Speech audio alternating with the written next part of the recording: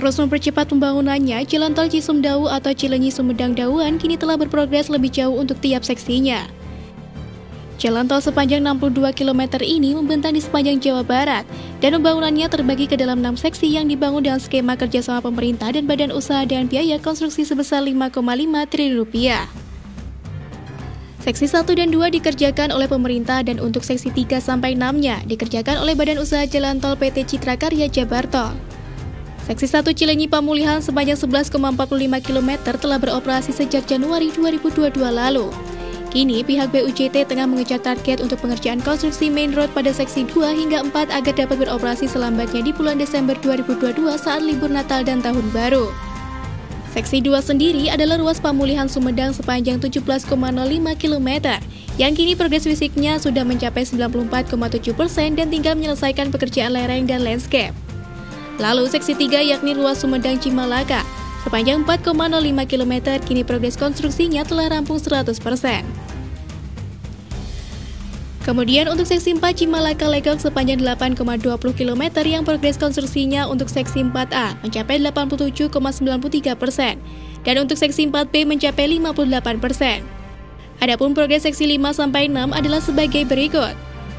Seksi 5 ruas Legok Ujung Jaya sepanjang 14,9 km progres konstruksinya untuk 5A mencapai 60,9 persen dan 5B mencapai 63 persen.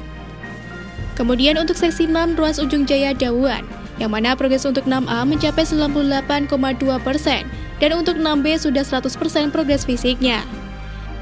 Dikatakan bahwa penanganan lereng dengan kerawanan longsor tinggi menjadi beberapa tantangan dalam pembangunan tol Cisumdawu pada seksi 2 sampai 5.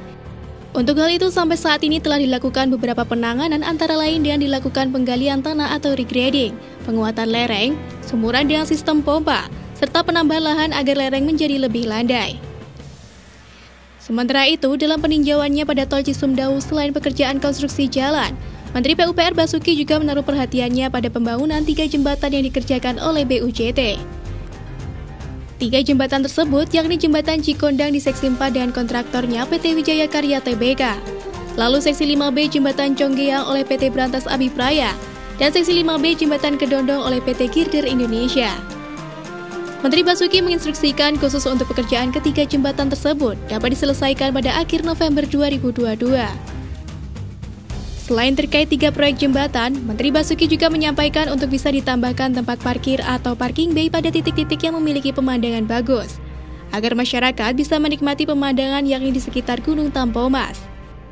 Pembangunan Jalan Tol Cisumdawu akan berperan penting untuk menciptakan efektivitas operasional Bandara Kertajati, Pelabuhan Patimban, serta pengembangan ekonomi kawasan Pantura Jawa Barat mulai dari Cirebon, Indramayu, Majalengka hingga Kuningan Jawa Barat. Untuk itu, semoga pengerjaannya dapat berjalan lancar dan rampung sesuai target yang telah ditentukan.